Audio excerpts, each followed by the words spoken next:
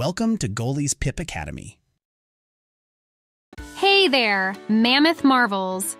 Welcome to another episode of Mammoth Mysteries with your favorite Ice Age investigator, Tusk McFluffy. Today, we're diving into the frosty world of woolly mammoths.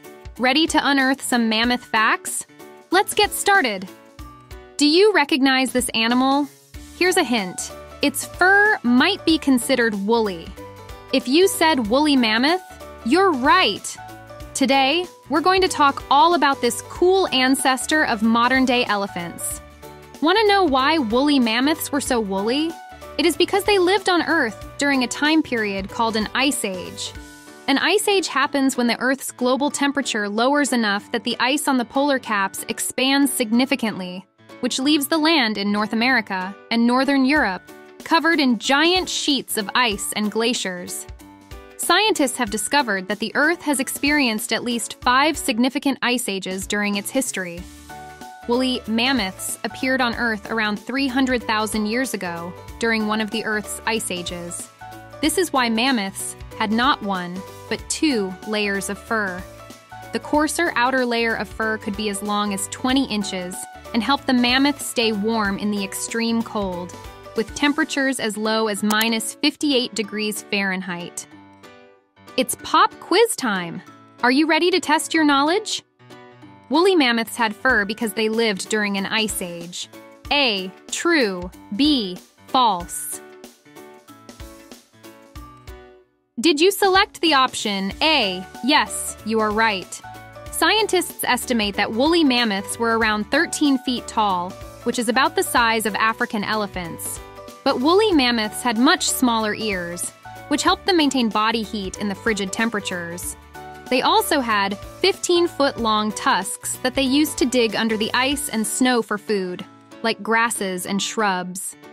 Woolly mammoths had a lump on their back, which scientists think were stores of fat that provided energy when food was hard to find, kind of like a camel's hump. Super interesting, right? Woolly mammoths mostly gave birth to one calf at a time, with the females and their babies roaming in herds of about 15. Male woolly mammoths would leave the herd around the time they turned 10 years old.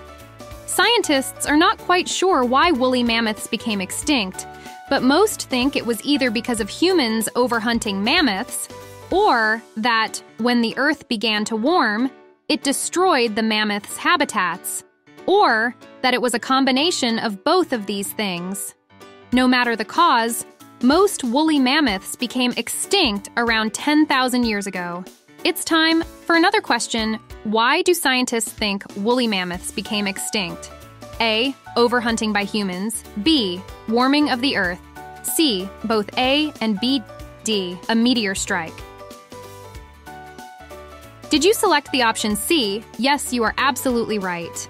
But wait, here's another interesting fact.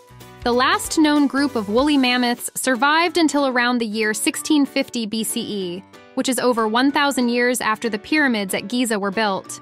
So, how do scientists know so much about mammoths? It's because they have actually been able to study mammoth remains. In 2012, an 11 year old boy in Russia was walking his dog when he stumbled over something sticking out of the ground he realized he had tripped over the partial remains of a woolly mammoth. This discovery helped scientists figure out a lot of things about how the creature lived and what it looked like. And in 2022, a mummified baby mammoth was discovered in Canada after being buried for over 30,000 years. Wow, who knew there was so much to learn about woolly mammoths? Today, we explored the amazing world of woolly mammoths. We learned about their fur, size, tusks, and why they went extinct.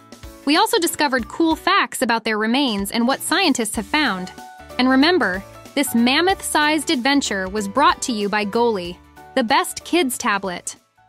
My mind is blown! Where can I learn more about these videos? Oh, yeah, getgoally.com. There's no ads, there's no junk, just cool stuff for kids and a dedicated tablet. Check it out, getgoally.com.